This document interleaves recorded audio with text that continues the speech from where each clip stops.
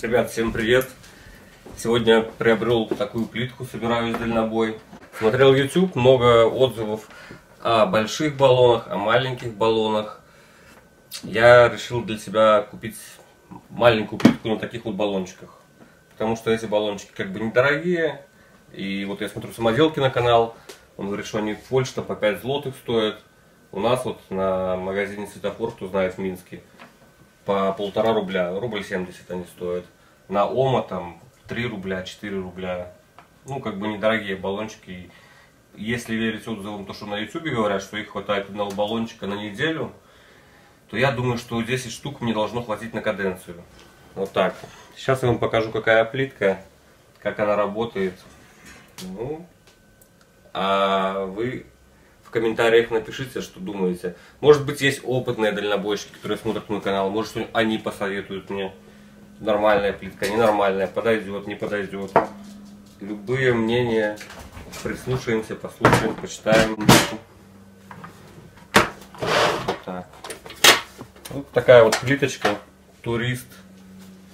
По ценнику. Сколько она стала?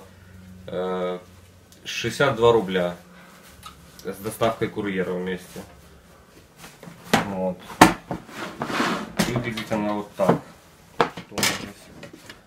Отсек для баллона получается. Переворачиваем эту штучку, чтобы готовить, ставить сюда. Но это, я так понимаю, можно, наверное, сковородку какую-то поставить потом сюда. Ну, разберемся. Баллон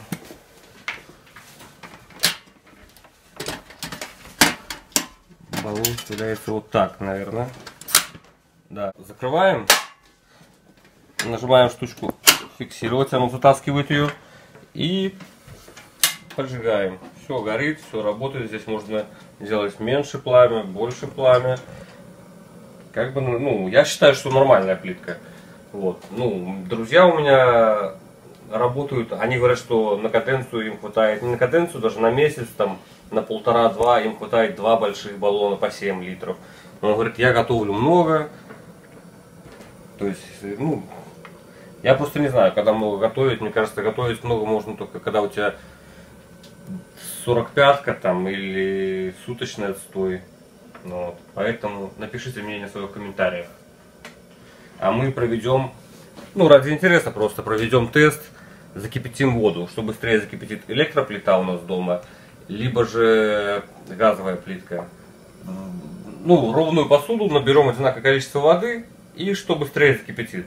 Ребят, так, набрали мы 1 литр воды вот в такую вот кастрюльку. На секундомер мы снимем то, что будет, сколько по времени пройдет. И мы начинаем. Ставим старт.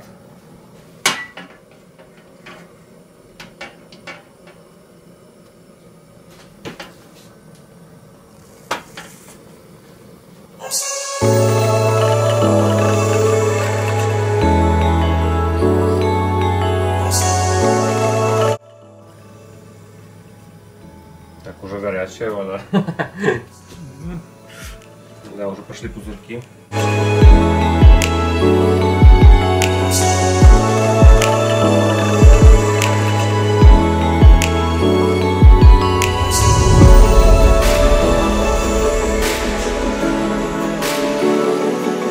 Так, у нас закипело ровно 7 минут, ребят.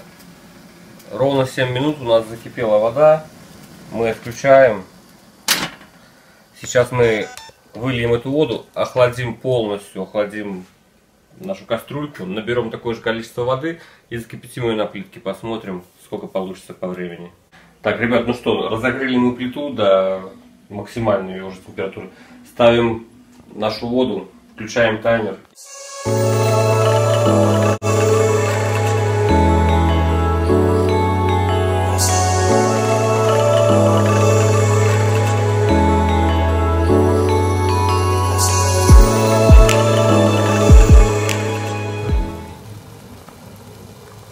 Ребят, 8 минут 9 секунд закипела у нас эта вода. Так, мы все отключаем. Ну, в принципе, на минуту 10, грубо говоря, больше. Итак, ребят, у нас эта плитка закипятила воду за 7 минут, ровно 1 литр воды. а домашняя у нас закипятила за 8 минут 10 секунд. Я считаю, что результат неплохой, что это лучший вариант, я считаю, что... Тем более с кейсом можно укрыться от ветра поставить вот так. Я считаю, что нормальная плитка. Что думаете вы, пишите ваши комментарии. Будет очень интересно почитать. Всем пока.